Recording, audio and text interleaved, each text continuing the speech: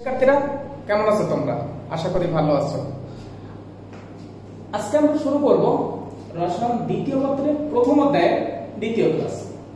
গত ক্লাসে, অর্থাৎ ফার্স্ট ক্লাসে তোমরা শিখেছিলে বয়লের সূত্র, এবং সেখান থেকে শিখেছিলাম ভি সমানুপাতিক ওয়ান বাই পি আবার চার্লসের সূত্র। সেখান থেকে শিখেছিলে ভি সমানুপাতিক টি আজকে আমরা নতুন সূত্র শিখব। এটা হলো অ্যাভোগাড্রোর সূত্র।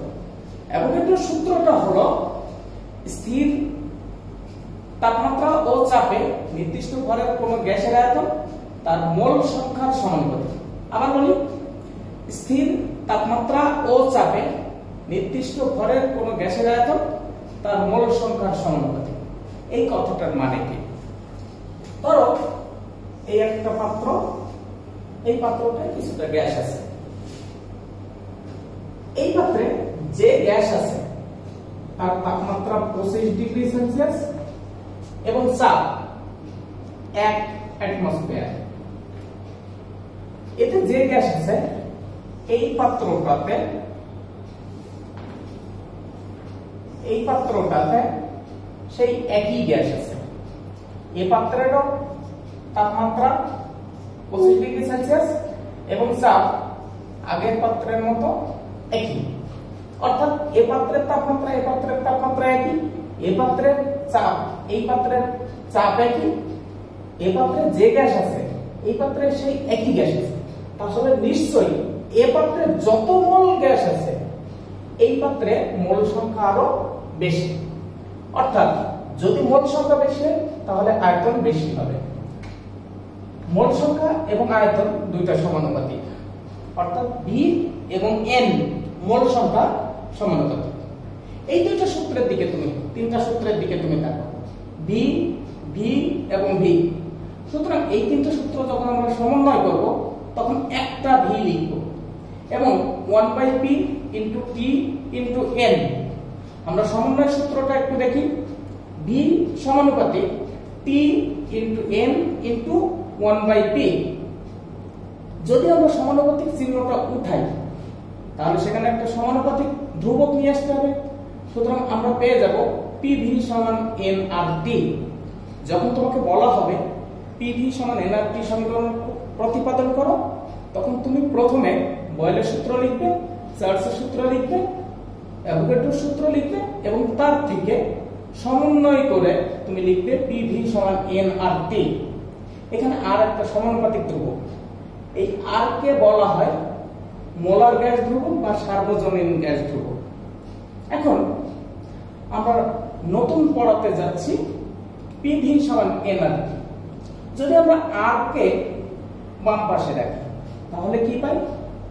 PV by PV by NT.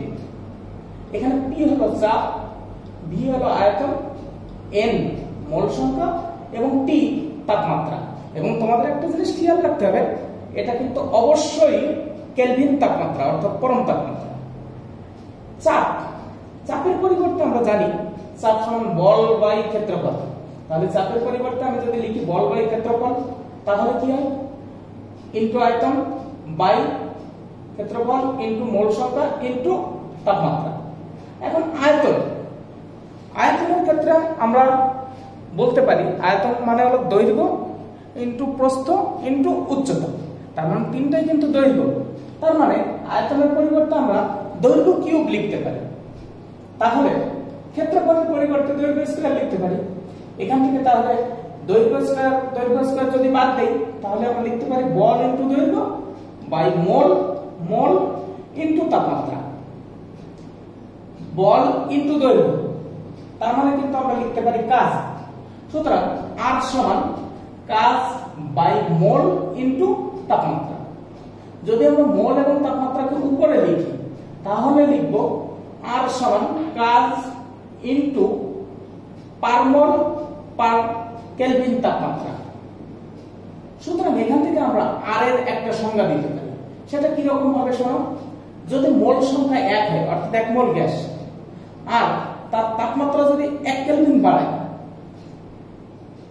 তাহলে আমরা লিখতে পারি এক মোল কোন গ্যাসের তাপমাত্রা এক ক্যালভিন বৃদ্ধি করলে যে পরিমাণ কাজ সম্পন্ন হয়, তাকে মোলার গ্যাস ধ্রুবক বা সার্বজনীন গ্যাস ধ্রুবক বলে। সার্বজনীন গ্যাস ধ্রুবক কাকে বলে? এই প্রশ্ন যদি তোমার কাছে করা হয়, তুমি কি বলবে? এক মোল কোন গ্যাসের তাপমাত্রা এক কেলভিন বৃদ্ধি করলে যে পরিমাণ কাজ সম্পন্ন হয়, তাকে মোলার গ্যাস ধ্রুবক বা সার্বজনীন গ্যাস ধ্রুবক বলে। ওকে আমরা আরেকটা নতুন পড়াতে চাই।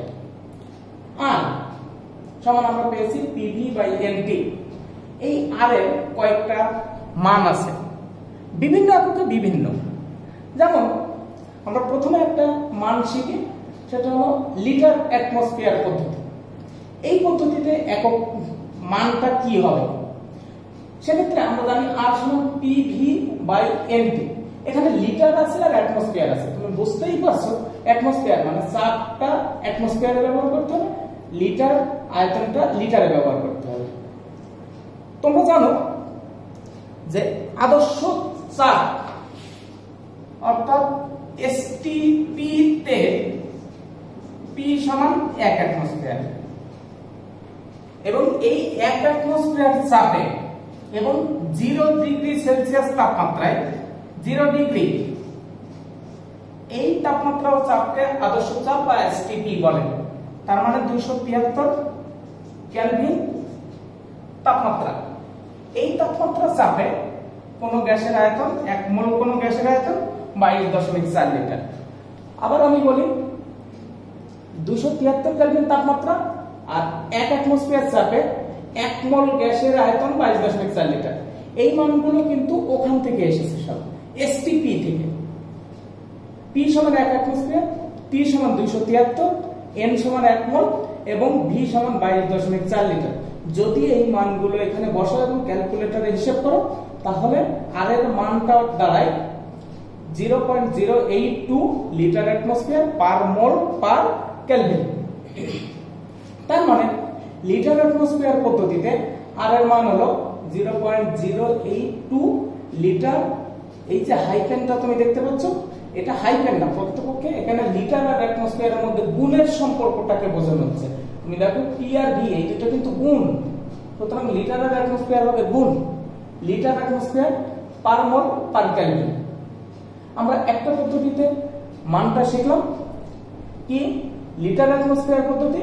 তাতে আর এর মান হলো zero point zero eight two litre atmosphere per kelvin per mole আমরা দ্বিতীয় পদ্ধতি শিখতে যাই। দ্বিতীয় পদ্ধতি হলো সিজিএস পদ্ধতি। সিজিএস এই কথাটা একটু দেখো। সিজিএস সিটা হলো সেন্টিমিটার জিটা হলো গ্রাম এসটা হলো সেকেন্ড। সুতরাং তোমাকে এখানে সেন্টিমিটারে ব্যবহার করতে হবে জি গ্রামে ব্যবহার করতে হবে এবং এস থাকলে সেটা সেকেন্ডে ব্যবহার করতে হবে। আমরা যেহেতু সিজিএস পদ্ধতি পড়ছি সিজিএস পদ্ধতি।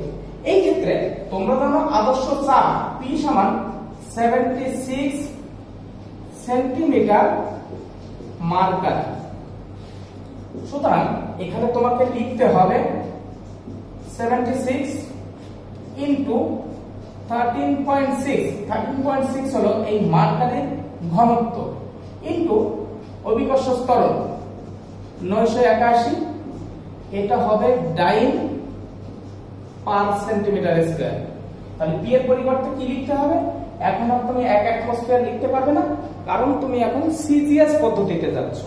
সিজিএস পদ্ধতিতে চাপের মান লিখতে হবে 76 ইনটু 13.6 ইনটু 981 76 হলো উচ্চতাটা 13.6 হলো মার্কারের ঘনত্ব, এবং 981 হলো অভিকর্ষ স্তর। এই ক্ষেত্রে তাপমাত্রা তো আগের মতো, দুশো তিয়াত্তর, এন এক মোল আগে যা ছিল তাই। এই ক্ষেত্রে তোমাকে বি এর মান লিখতে হবে বাইশ হাজার চারশো, দেখো এম এল আর সেন্টিমিটার কিউব। এই দুইটাতেই কিন্তু বাইশ হাজার চারশো। কিন্তু তুমি এম এল লিখতে পারবে না। কারণ আমরা সিজিএস পদ্ধতিতে শিখতেছি সিজিএস পদ্ধতিতে একক হলো সেন্টিমিটার কিউব। আয়তনের একক সেন্টিমিটার কিউব। সুতরাং তোমাকে এখানে সেন্টিমিটার কিউবই লিখতে হবে। এমএল লিখলে ভুল হবে। তাহলে আমরা পি এর পরিবর্তে কত লিখব? 76 ইনটু 13.6 ইন্টু নয়শো একাশি dyne per centimetre square V এর পরিবর্তে লিখব বাইশ হাজার চারশো সেন্টিমিটার কিউব যদি এই মানগুলো তুমি এখানে লেখো, তাহলে আর এর মান দাঁড়ায় eight point three one six into ten to the power seven erg erg erg এটা কাজের একটা একক। কাজের একক। বা শক্তির একক। আর পার মোল, পার ক্যালভিন। সুতরাং সিজিএস পদ্ধতিতে আর এর মান হলো 8.314 8.316 ইনটু 10 টু দি পাওয়ার 7 আর পার মোল, পার ক্যালভিন। এবার আমরা তৃতীয় পদ্ধতি শিখব। তৃতীয় পদ্ধতি হলো এসআই পদ্ধতি। এসআই এখন ইন্টারন্যাশনাল সিস্টেম এসআই পদ্ধতির আরেক নাম হলো এমকেএস পদ্ধতি। এমকেএস এম হলো মিটার মিটার কে কেতে কেজি এসতে সেকেন্ড। সুতরাং এই পদ্ধতিতে তোমাকে চাপ ব্যবহার করতে হবে মিটারের ক্ষেত্রে যেটা আছে। তার মানে পি হবে নিউটন পার মিটারে যে এককটা আছে, যে মানটা আছে 101325 নিউটন পার মিটার স্কয়ার। তোমরা জানো, গত ক্লাসে তোমরা শিখেছো যে প্যাসকেল এই এককেও কিন্তু একই মান। কিন্তু তুমি এখানে প্যাসকেল ব্যবহার করতে পারবে না। এখানে তোমাকে ব্যবহার করতে হবে নিউটন পার মিটার স্কয়ার। কারণ তুমি এটা এমকেএস পদ্ধতি বা এসআই পদ্ধতিতে শিখতেছো। সুতরাং পি এর পরিবর্তে লিখতে হবে 101325 newton per metre, newton per metre square. আচ্ছা এবার ভি সেটাও তোমাকে মিটারে নিয়ে যেতে হবে, মিটার কিউবে নিয়ে যেতে হবে। এবং ভি এর মানটা বসাতে হবে বাইশ দশমিক চার into ten to the power minus three metre cube এই মানটা যদি তুমি বসাও, তাহলে সেক্ষেত্রে হিসেব করলে আসবে eight point three one six joule এখানে কাজের এককটার ব্যবহার হবে জুল অর্থাৎ এসআই পদ্ধতিতে কাজের একক হলো জুল কিন্তু সিজিএস পদ্ধতিতে কাজের একক হলো আর্গ এসআই পদ্ধতিতে কাজের একক জুল সিজিএস পদ্ধতিতে কাজের একক আর্গ ওকে তাহলে এসআই পদ্ধতিতে আর এর মান 8.316 into 8.316 joule per mole per kelvin এই ক্ষেত্রে পি এর মান তুমি নিউটন পার মিটার স্কয়ারে ব্যবহার করতে হবে আর ভি এর মান মিটার কিউবে ব্যবহার করতে হবে। ওকে লাস্ট যে আর এর মান নির্ণয় করতে হবে সেটা হলো ক্যালোরি পদ্ধতিতে এবং ক্যালোরি পদ্ধতি খুব সহজ। সেটা তুমি কি করবে? জুল পদ্ধতিতে যে মানটা বের হয়েছে, অর্থাৎ 8.316 তাকে শুধুমাত্র 4.182 দিয়ে ভাগ করে দেবে। কারণ 1 ক্যালোরি মানে হলো 4.182 জুল। 1 ক্যালোরি মানে 4.182 জুল যে মানটা পাবে, সেটা calorie per mole per kelvin এবং সেই মানটা আসে 1.987 calorie per mole per kelvin সুতরাং, আজকে পড়া থেকে আমরা যে যে জিনিস শিখলাম, সেটা শিখলাম পিভি সমান এন আর টি এই সমীকরণটা তুমি যদি প্রতিপাদন করতে চাও তাহলে তোমাকে প্রথমে বয়েলের সূত্র লিখতে হবে, তারপর সার্লসের সূত্র, তারপর অ্যাভোগাড্রোর সূত্র, তারপর তিনটা সূত্র সমন্বয় করতে হবে। এখান থেকে আমরা শিখলাম আর এর চারটা পদ্ধতিতে মান। আর সমান 0.082 litre atmosphere per kelvin per mole. এটা হলো লিটার অ্যাটমসফিয়ার পদ্ধতিতে। আরেকটা শিখলাম আর সমান 8.316 ইনটু 10 টু দি পাওয়ার 7 আর পার কেলভিন পার মোল আরেকটা শিখলাম। 8.316 joule per kelvin per mole আরেকটা শিখলাম। 1.987 calorie per kelvin per mole আশা করি তোমরা সবাই ভালোভাবে বুঝতে পেরেছ। ওকে সবাই ভালো থাকো। করোনার সময় কেউ বাইরে যাবে না। নিজে সুস্থ থাকো, অপরকে সুস্থ থাকতে সাহায্য করো। ওকে বেস্ট অফ লাক